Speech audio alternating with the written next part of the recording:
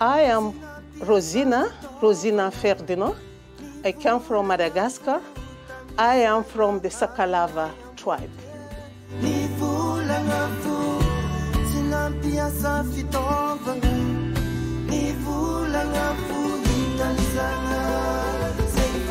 There is need to go and to see the student at school and share what you have got. That is the first thing.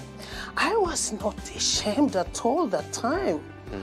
I was just wanted to talk about Jesus, to tell it to my friends at school. So I think that that is the start of it. Okay, seeing what the Lord has done to my life,